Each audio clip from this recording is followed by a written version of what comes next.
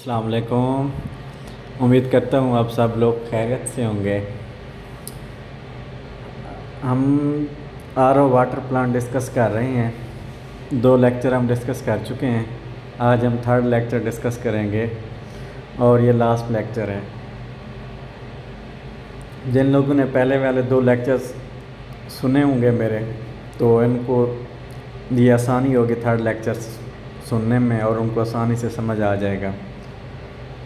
تو جو نئے لوگ آئے ہیں میرے اس چینل کے اندر، ان کو موسٹ ویلکم چلیں، اب ٹائم ویسٹ کے بغیر چلتے ہیں اپنے ٹاپک کی طرف.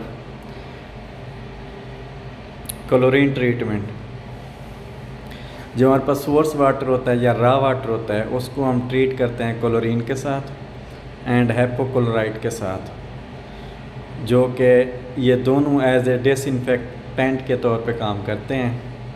واٹر کی کوالٹی کو امپروو کرتے ہیں کہ اگر واٹر کے اندر کوئی بھی مائکرو آرگنیزمس موجود ہیں تو یہ ان کو کل کر دیں گے، کلرین اینڈ ہیپوکلرائٹ ایک تو ایز اے ڈس انفیکٹنٹ کام کر رہا ہے کلورین ٹریٹمنٹ، دوسرا آکسیڈائزنگ ایجنٹ کے طور پہ بھی کام کرتے ہیں کہ جتنے بھی اس سورس واٹر یا را واٹر کے اندر میگنیز یا ایرن کے آئنس موجود ہوں گے تو ان کو بھی کیا کرے گا؟ آکسیڈائز کرے کر دے گا۔ سوڈیم ہیپوکلورائٹ ریئیکٹس کرتا ہے واٹر کے ساتھ اور پھر کیا کر دیتا ہے؟ سوڈیم ہیپوکلورائٹ ایک ایسڈ بنا دیتا ہے۔ آگے sodium meta by sulphate dosing system. یہ بھی سورس واٹر کے اندر ہی استعمال کیا جاتا ہے، کیونکہ ہم وہاں پہ کلورین یوز کیے ہیں۔ تو جتنے بھی کلورین کے ریزیڈیو اگر رہ گئے ہوں گے نا، تو sodium meta by sulphide dosing system کے ذریعے اس کلورین کو ریموو کیا جاتا ہے۔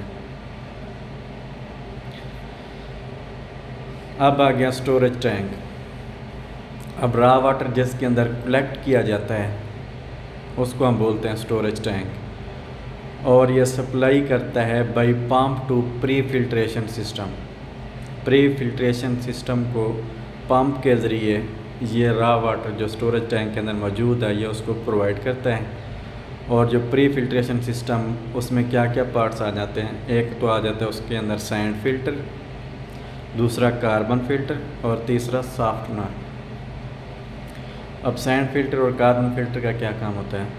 جو سینڈ فلٹر ہوتا ہے، وہ ریموو کرتا ہے جتنے بڑے بڑے سسپینڈڈ کنٹامینٹس اگر سورس واٹر میں موجود ہوں گے، تو وہ سینڈ فلٹر کے اندر رہ جائیں گے۔ مطلب سینڈ فلٹر ان کو ریموو کر لے گا۔ مطلب کوئی بھی لیوز ہو گئے ڈیبریس ہو گئے، پتھر وغیرہ، کنکریاں، جو بھی ہیں نا، وہ سینڈ فلٹر ان کو ریموو کر لے گا۔ اس کے بعد وہ واٹر چلا جائے گا آگے کاربن فلٹر میں۔ تو کاربن کیا کرے گا؟ وہ ریموو کر دے گا۔ اگر کوئی کلورین بچ گئی تھی اس کے اندر نا واٹر میں، تو وہ کلورین ریموو کرے گا کاربن فلٹر اور کاربن فلٹر کے اندر ایکٹیویٹڈ چارکول یوزڈ کیا جاتا ہے۔ جو کہ کیا کرتا ہے اس واٹر کے اندر جتنی بھی اسمیل آرڈر کلر یا جتنے بھی آرگینک ان آرگینک کنٹامنٹس اگر موجود ہوتے ہیں، تو وہ کاربن فلٹر ان کو ریموو کرتا ہے اس کے بعد آ جاتا ہے سافٹنر میں چلا جائے گا پانی کاربن فلٹر سے، جس کے اندر اسمیل وغیرہ اب نہیں ہوگی۔ تو سافٹنر کیا کرتا ہے ایکسچینج کرتا ہے ان ڈیزائریبل آئنس کو with desirable cations and anions cations آپ سب جانتے ہیں اس کے اوپر پازیٹیو چارج ہوتا ہے انائنس اور نیگیٹو چارج ہوتا ہے۔ اب سافٹنر کا کیا کام ہے؟ جتنے بھی ان ڈیزائریبل آئنس موجود ہوں گے اس واٹر کے اندر تو وہ ان کو ایکسچینج کرے گا۔ اب کیٹائن کیا کرتا ہے؟ ایکسچینج کرتا ہے۔ اگر واٹر کے اندر کیلشیم یا میگنیشیم موجود ہوں گے تو کیٹائنس کیا کرے گا؟ اس کو ہائیڈروجن آئنز میں ایکسچینج کر لے گا۔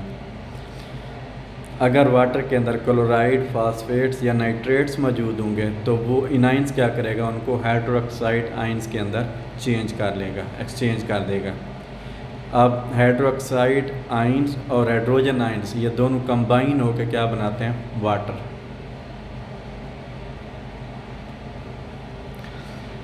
سافٹنر کے بعد ہائی پریشر پمپ لگا ہوتا ہے۔ اس کا کام کیا ہوتا ہے کہ وہ پش کرتا ہے واٹر کو آر او ممبرینس کی طرف۔ آر او ممبرینس جو ہے نا، کس کی بنی ہوتی ہیں؟ وہ سیلولوز ایسیٹیٹ کی بھی بنی ہوتی ہیں پولی سلفونیٹ کی بھی ہو سکتی ہیں اور پولیمائڈ ان تین طرح سے کیا کرتی ہیں؟ آر ممبرینس بنی ہوتی ہیں ان تین طرح کی. اور آر ممبرینس کا کام کیا ہوتا ہے؟ یہ ریموو کرتا ہے نائنٹی سیون سے لے کے نائنٹی نائن پرسینٹ تک. جتنے بھی سارٹس یا کنٹامنٹس اگر موجود ہوں گے تو اتنی پرسنٹیج تک وہ ان کو ریموو کر دے گا R membrane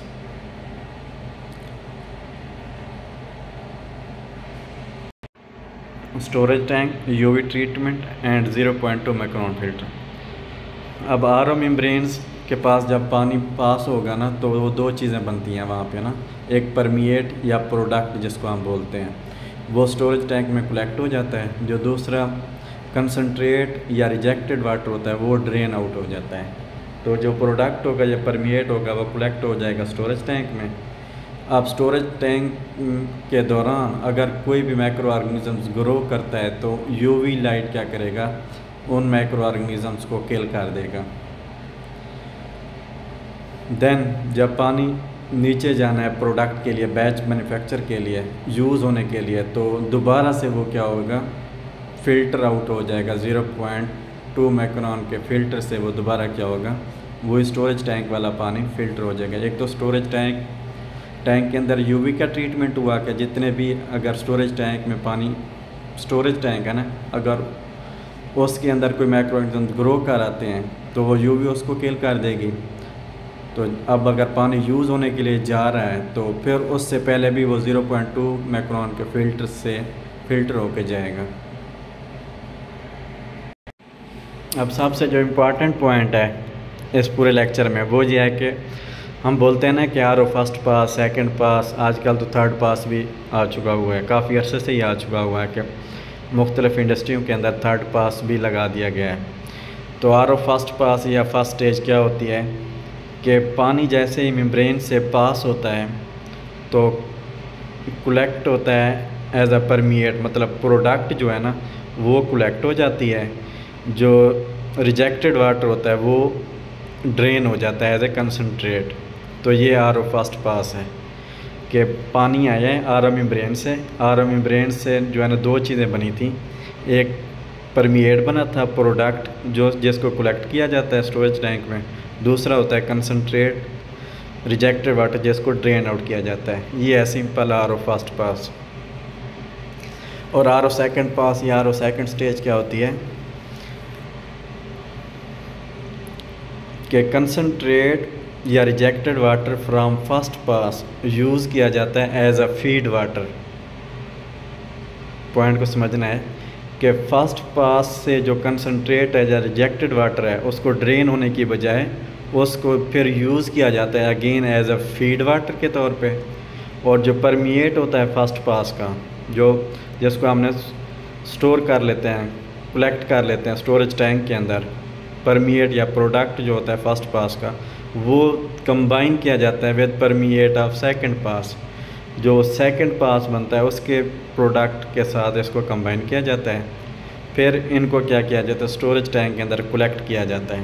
تو یہ ہو یہ ہو جاتا ہے سیکنڈ پاس اور یہ سیکنڈ پاس لگاتا کیوں ہے؟ کہ تاکہ آر او واٹر پلانٹ کی ایفیشنسی امپروو کرنے کے لیے سیکنڈ پاس لگایا جاتا ہے۔ یہ پوائنٹ ایک دفعہ دوبارہ کلیئر کر لیں۔ کہ آر او برینس سے پانی جیسے پہلے آ رہا ہوتا ہے نا فیڈ واٹر پیچھے سے سافنر کے بعد جو ہے نا ہائی پریشر پمپ کے ذریعے آر او برین سے پانی آتا ہے نا۔ تو وہاں پہ دو چیزیں بن رہی ہوتی ہیں۔ کنسنٹریٹ بن رہا ہوتا ہے، جو کہ ریجیکٹڈ واٹر ہوتا ہے، جو کہ ڈرین ہونا ہوتا ہے۔ تو یہاں پہ ہم ڈرین نہیں کرتے، اس کو as a feed water use کرتے ہیں۔ دوبارہ مطلب اس کو کیا کرتے ہیں؟ اس کو واپس بھیجتے ہیں ڈرین کرنے کی بجائے۔ تو جو فرسٹ پاس کا پرمیٹ یا پروڈکٹ ہوتا ہے، پھر وہ کمبائن ہوتا ہے سیکنڈ پاس کے پروڈکٹ کے ساتھ. ٹھیک ہے؟